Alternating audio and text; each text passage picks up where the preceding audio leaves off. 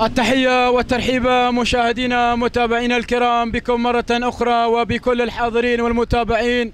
لهذه الانطلاقات الصباحية على بركة الله وحفظه أعلنت انطلاقة الشوط التاسع الذي يحمل فئة الأبكار يحمل نخبة من الأبكار الأصايل من سن الصغار سن المفاجآت. أذهب مباشرة وأعلن عن البداية عن المركز الأول. وحيشة هي من تنطلق بأول المراكز لحمد بن سعيد بالحب العامري من يقدم وحيشة على المركز الأول. تليها بثاني المراكز المختبر أحمد بن علي بن واس من يقدم المختبر كما أخذ شوط بهذه الفترة الصباحية. والمركز الثالث أرى الواصلة هنا دمعة. محمد بن راشد بن مرخان من يقدم دمعة على المركز الثالث.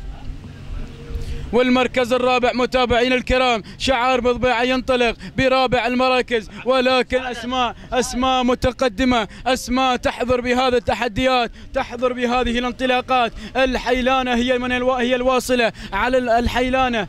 أو الحليانه على المركز الثالث لمحمد بن سالم بن محمد بن ضبيعة والمركز الثالث يا سلام يا نود محمد بن عتيج الاكتبي. ولكن اختلط الحافل بالنابل تقدمت الأسماء في موقع واحد في منافسة واحدة في معركة واحدة. يا سلام يا سلام. وبن مرخان مع البداية بن مرخان مع المركز الأول. ماخذ درب التحدي ماخذ المركز الأول. دمعة الناموس دمعة التحدي دمعة التحديات دمعة الناموس على البداية لمحمد بن راشد بن مرخان من يقدم دمعة على المركز الأول. ولكن أرى شيء قادم أرى المركز الثاني هنا. القادم القادمة يا سلام يا سلام. يا شاهنية ماي محمد بن مايد بن سالم الاشتبي ولكن بن مرخان بن مرخان إلى الأمام بن مرخان هو صاحب الانتصار والعوايد لأهلها. سلام بن مرخان سلام. سلام للمرة الثانية. للمرة الثانية نقول سلام. واسعد الله صباحك بكل خير. على فوز الحليانة بالمركز الأول.